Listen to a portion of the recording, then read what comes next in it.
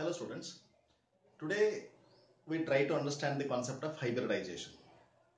Let us restrict our discussion to first series transition elements which are also known as 3D series transition elements.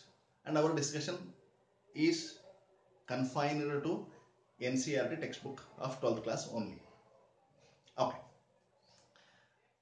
The it is important to, to know the atomic number and the elements of first transition series. Let us see that first. The first transition series is also known as 3D series because the electrons are progressively added to the outermost 3D subshell, 3D orbitals. Okay, the elements belonging to first transition series are scandium, titanium, vanadium, chromium, manganese, iron, cobalt, nickel, copper and zinc. Feeling difficult to remember it? Okay, if that is the case, we will create one line. Um, one situation so that we can remember it very easily. Look at this.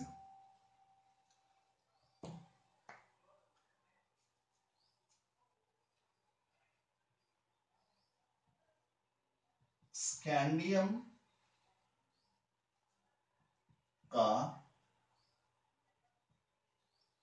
TV scandium का TV car में scandium का TV car में fit से करने को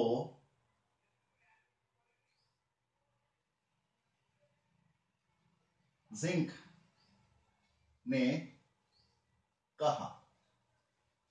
It an great on your own also This I feel comfortable, therefore, it is present uh, discussing with you. Look at this now.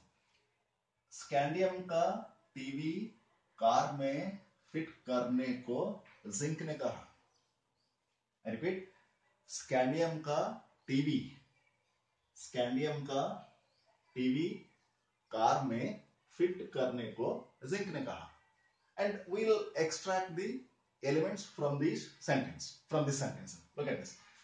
Scandium stands for scandium itself. Ka remains silent. T stands for titanium.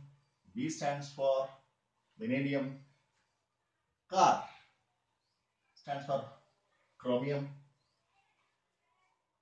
May stands for manganese.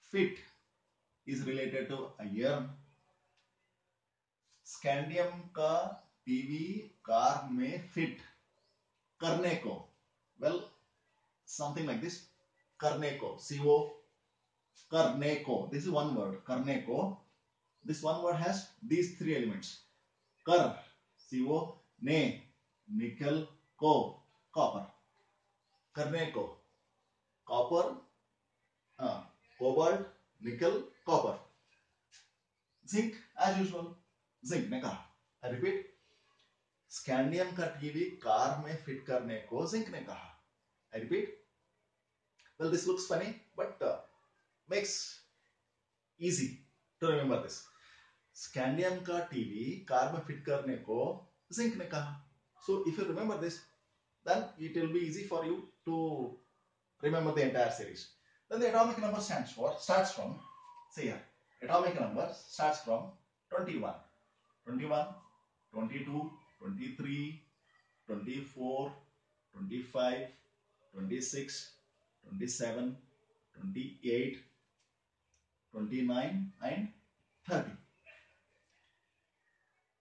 scandium का TV car में fit करने को zinc ने कहा। So atomic number starts from 21 to 30 well here the atomic number indicates that there is argon nucleus in all the elements which includes 18 electrons. Then the order of filling suggests that it is 4s and 3d. This is called as order of filling. And order of removal will be 3d and 4s. It is, it is the order of removal of electrons. 18 plus 2, 20 and 1. Well, this entire thing stands for 20 electrons. Okay. This is 4s2 3d1, 4s2 3d2, 4s2 3d3, 4s2 3d, 4 it will not come.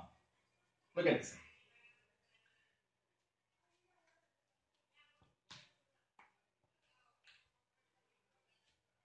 The electronic configuration is as an argon nucleus is common, therefore it will become 4s2 3d 1. This is 4s2 3d 2. This is 4s3 3d. It's not 4s3. It is 4s2 3d 3 this is expected to be 4s2 3d 4 but if you shift one electron from this to this s to d it will become 4s1 3d 5 this is due to its ability to attain more stability this situation is half filled and half filled has more exchange energy than the partially filled Therefore, it will attain more stability. Therefore, the electronic configuration is this one. But this is called as ground state electronic configuration. And this is called as excited state electronic configuration. If anybody asks you what is the electronic, is the electronic configuration of chromium? Well, there they have not meant they will not mention whether it is excited or ground state. But it is expected that you need to write excited state electronic configuration or you write both. In ground state electronic configuration in ground state the electronic configuration is this and in the excited state it's like this. Okay then. It is 4s2 3d 5 this is 4s2 3d 6 4s2 3d 7 4s2 3d 8 and this is once again the same situation comes over here. This is called this is expected to be 4s2 3d 9 but it is found to be 4s1 3d 10 this is once again ground state electronic configuration. This is excited state electronic configuration. This is because once d subshell is completely filled completely filled will orbitals will have more exchange energy therefore it is more stable well, between half filled and completely filled, which is more stable? Completely filled. Because it has got more exchange energy than the half filled. Then it is, as usual, 4s2 3d 10. Okay. It will be very much helpful if you remember the atomic number and the outer shell electronic configuration for answering the questions based on hybridization. Is that clear? Okay. Now, Let's go for the hybridization concept by taking some examples which are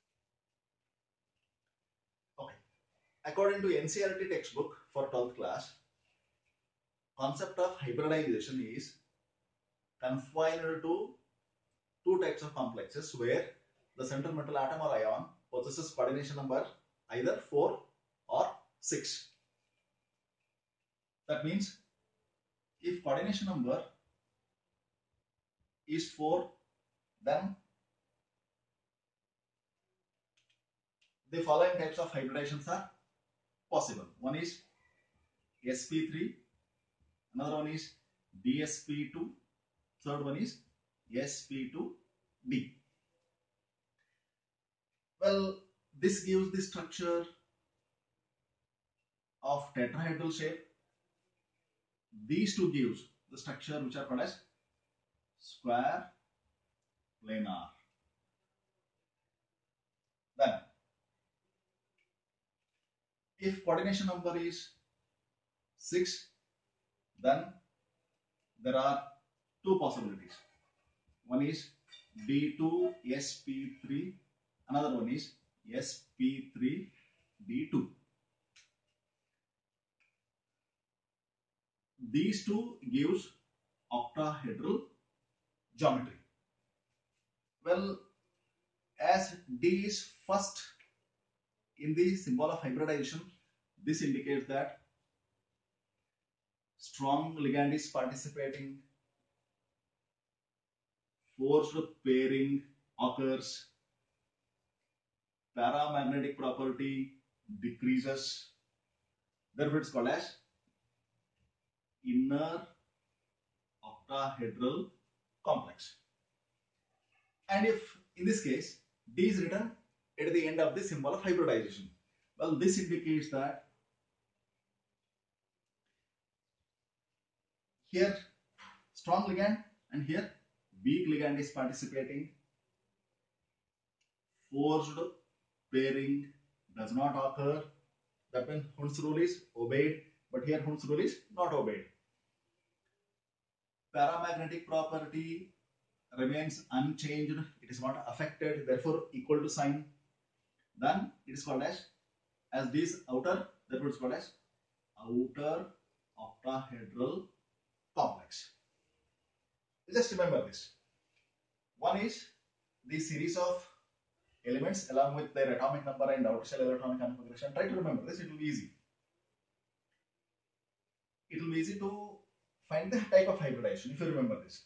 Then we have mainly two types of complexes. One is coordination number 4 where the uh, complex compound where uh, central metal atom has coordination number 4 or 6. If coordination number is 4, then three types of hybridizations are possible. If coordination number is 6, then two types of hybridizations are possible. The details are like this. Just record it in your notebook so that you can remember it. And you can practice also. Then we'll take one example here. Well, let us take nickel as the example for hybridization.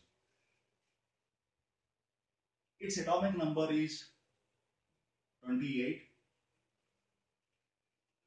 Its electronic configuration is argon 4s2 3d 8 18 plus 20 28 this is known as this is the electronic configuration of filling electron filling order. And its removal order is this.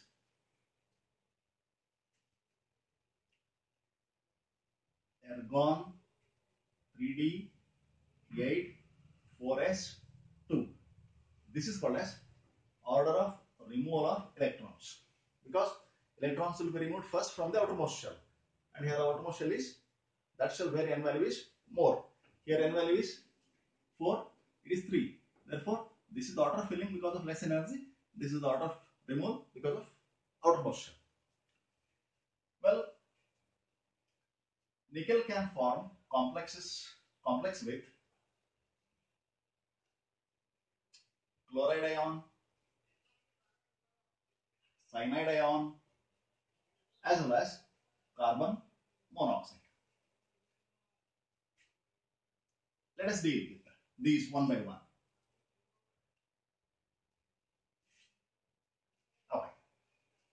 If nickel combines with chloride, it will form NiCl 4 times raised to 2 minus. Then with cyanide it gives NiCN 4 times raised to 2 minus.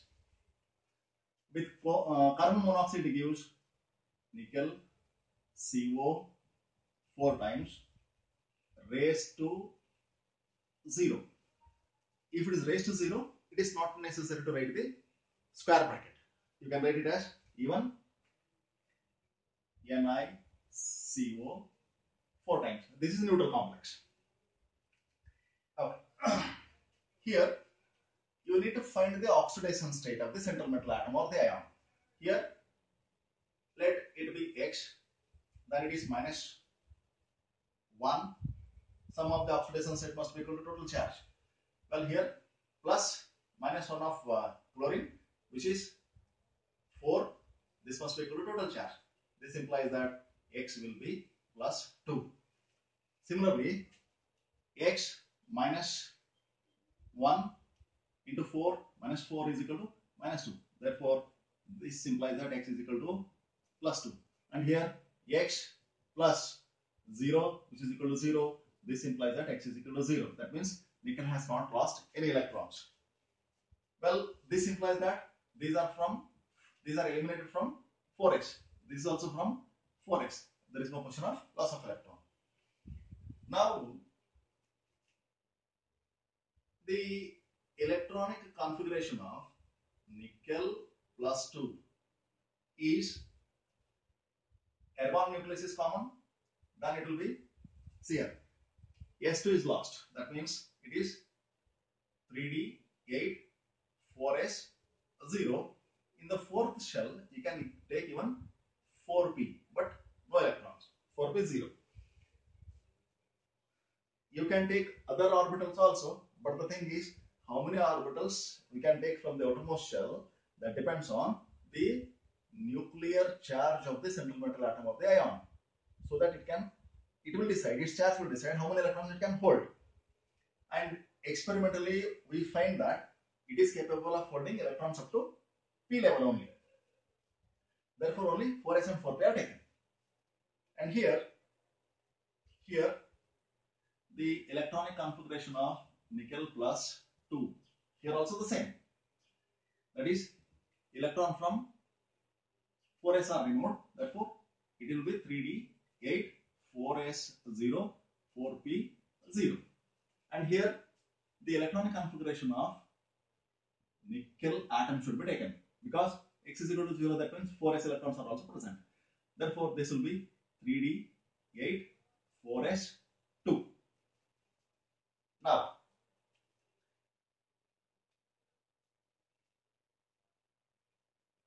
to understand the hybridization, let us look at these orbitals.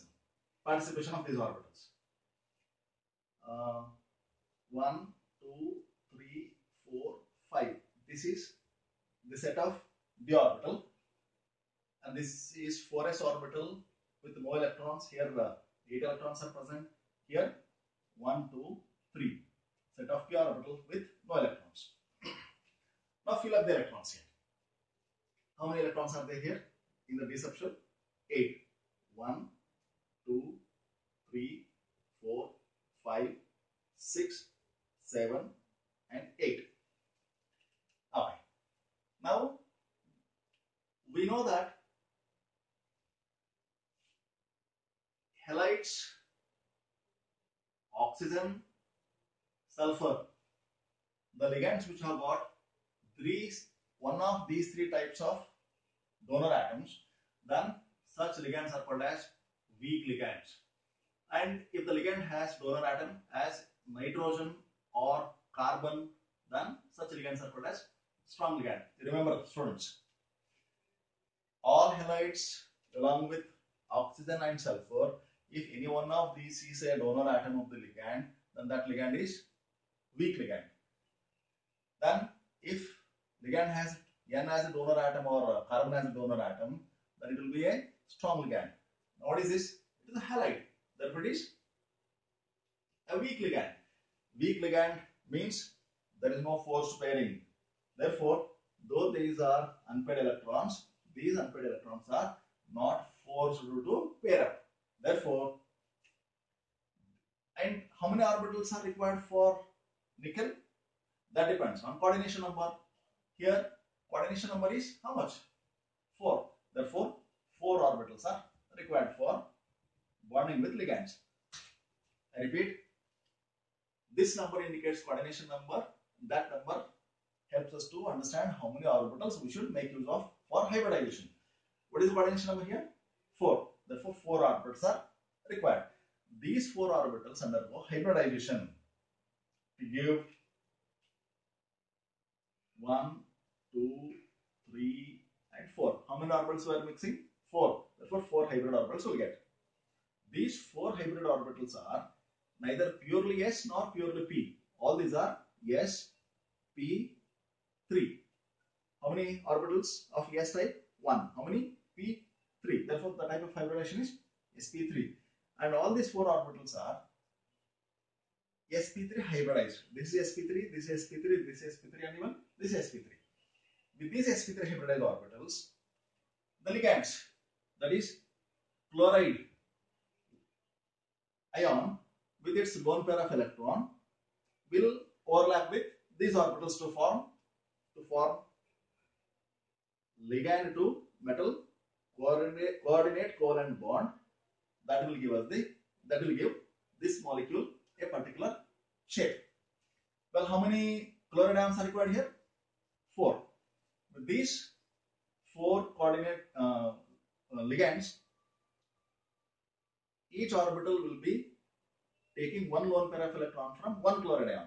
Therefore, here these pairs of electrons are from ligands. Then this indicates that the geometry is sp3 hybridized. Uh, the geometry is uh, hybridization is sp3 and the geometry is tetrahedral. It can be written as it is like this.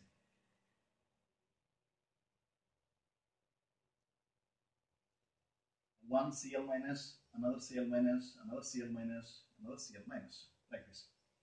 The tetrahedral nature is like this.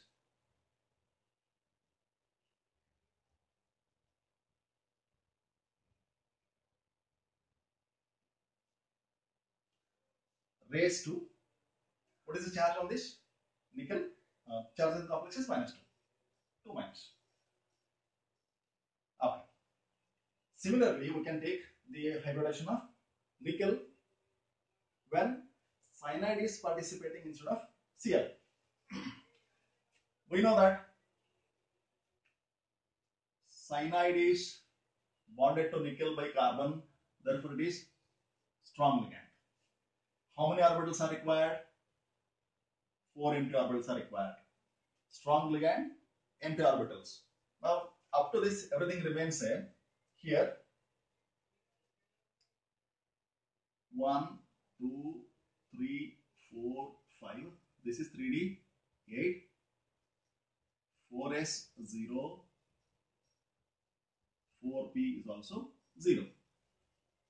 Here, the electrons are 8 that is 1 2 3 4 5 6 7 8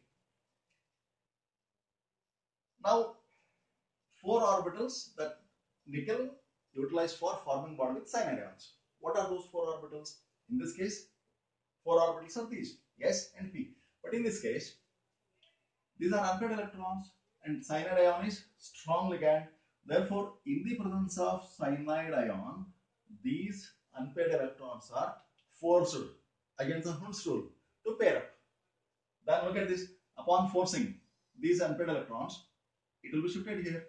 Then we'll have new set of orbital. 1, 2, 3, 4, 5. This is 3D, 8, 4S, 0, 4p 0. Look at this 1, 2, 3, 3 pairs which are already present and here one is one electron which is already already present and the, another, another electron will come that is called as that is due to force pairing then how many pairs of electrons have come now 4 but here one orbital is left free here how many vacant orbitals are available? 1, 2, 3, 4, 5. Then out of 5, 4 orbitals should be utilized for bonding with uh, ligands. Therefore, the type of hybridization that will take place is this. How many orbitals are mixing? 1 D, 1 S, P how many? 2. Therefore, hybridization type of hybridization is DSP2. Yes, DSP2. How many orbitals of DSP2 type will come? 4. Because four orbitals are mixing. Therefore, the next situation is 1, 2, 3, 4. This is 3D 8. And hybridized orbitals will have less energy than the unhybridized orbitals. Therefore, they are written little low. 1, 2, 3, 4. These are 4 dsp2 hybridized orbitals and one is 4p which is unhybridized, left unhybridized. Here the electrons are 1, 2, 3, 4, 5, 6, 7, 8 and with this 4 cyanide ions participate with their lone pair of electron. Therefore, one pair, second pair, third pair and fourth pair. Well, these will align to give a square planar structure like this.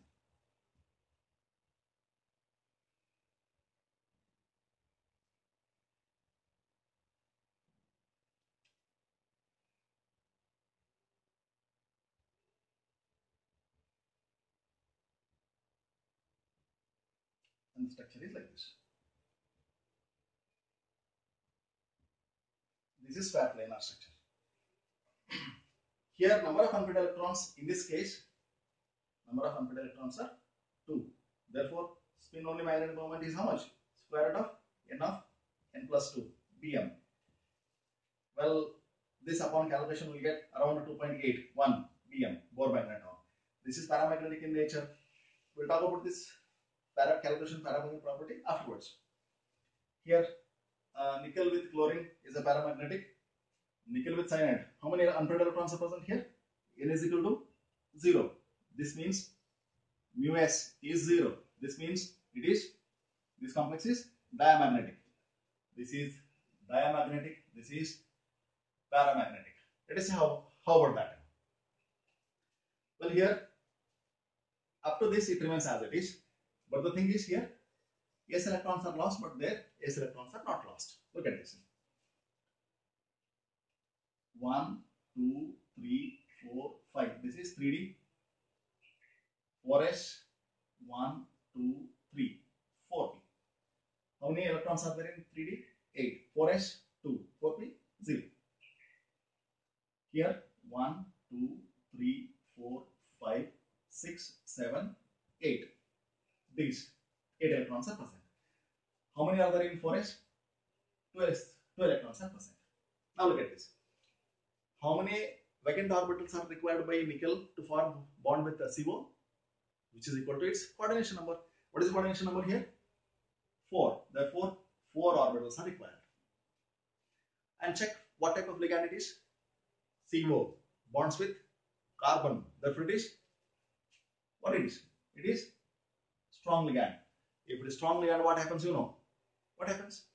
Force pairing takes place. Therefore, these two electrons will be forced to occupy the inner orbitals. This is again Hund's rule.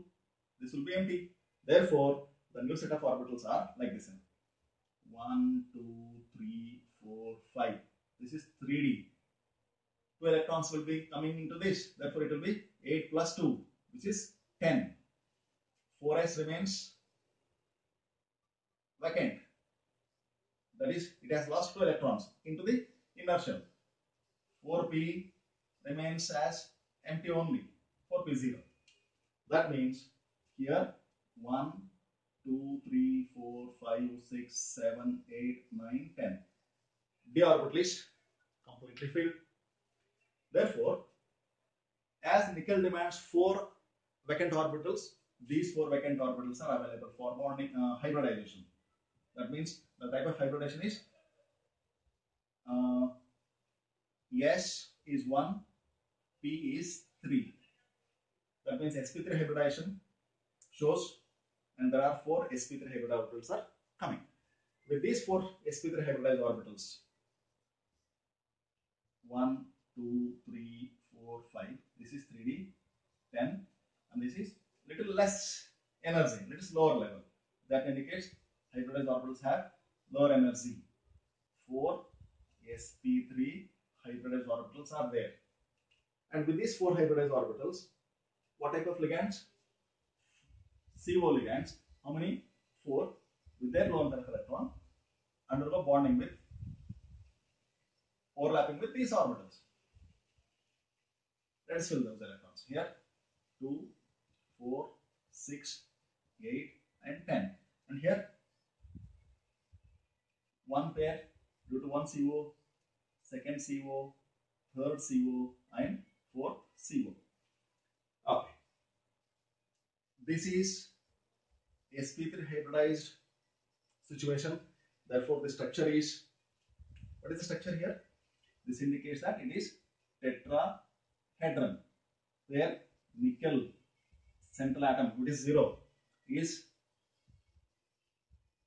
showing tetrahedral geometry, and the ligands are arranged in this manner, in a tetrahedral manner. Therefore, the tetrahedral nature is like this.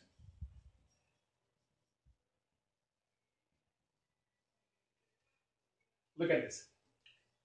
Nickel in nickel tetracarbonyl has no unpaired electrons. That is n is equal to 0. Therefore, it is uh, spin on magnetic moment is 0 bm. This indicates that the complex is diamagnetic. Is it clear? Therefore, the concept of hybridization helps us to understand whether the complex is attracted by the magnetic field, that is paramagnetic nature, or not attracted by the magnetic field, which is diamagnetic in nature. How do we come to know this?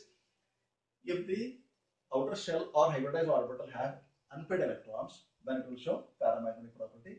If it no, that is all are paired electrons, then no unpaired electrons, then it is diamagnetic in nature. Nickel shows paramagnetic complex formation as well as diamagnetic complex formation. That depends on type of ligand. If force pairing, what happens? Force pairing. Force pairing. What is that? Force pairing, diamagnetic. Force pairing, diamagnetic. Here, weak ligand, no force pairing. Therefore, it is paramagnetic. Where paramagnetism is corresponding to two unpaired electrons. Okay. Just for the uh, competitive examination, just remember this. Nickel forms complex with coordination number 2, uh, 4, where the possibilities are, uh, shapes possibilities are 2 tetrahedral, 1 square planar. Then with respect to uh, magnetic property, 2 diamagnetic, 1 paramagnetic. Coordination number is 4. Clear? We'll see other examples in next video. Thank you. Well, before concluding, it is important to, to know the atomic number and series of elements to understand the concept of hybridization very easily and to solve the to solve problems related to hybridization very quickly it is it, it is necessary to remember the series of the elements along with their atomic number what is the trick to remember the first uh, names of the first transition series elements scandium का TV car में fit करने को zinc ने कहा clear thank you